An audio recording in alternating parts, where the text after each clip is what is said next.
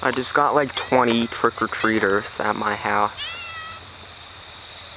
Oh, there's that, um, one black cat again that keeps coming to my house. You can't see it because it's black and it's dark outside, but she's right by my feet. But, uh, yeah, those are all those trick-or-treaters where all the lights are and people talking. And that's my street light. That orange yellow one. That's the street light right by my mailbox.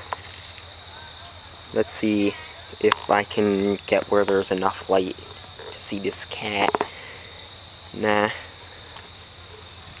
Maybe if I go to the other side. Oh no. Oh, she is there though. I'm not making that up. There really is a cat right there. But it's just my camera doesn't have enough light.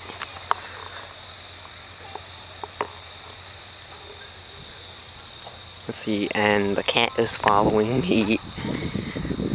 I'll go over to the other side. Yeah, here's a better view of the trick-or-treaters.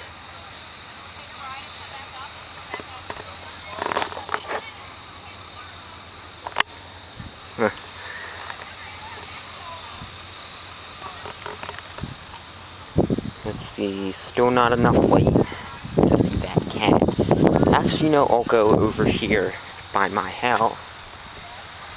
And, oh, here she comes. Yeah, there she is. Now you can kind of see her.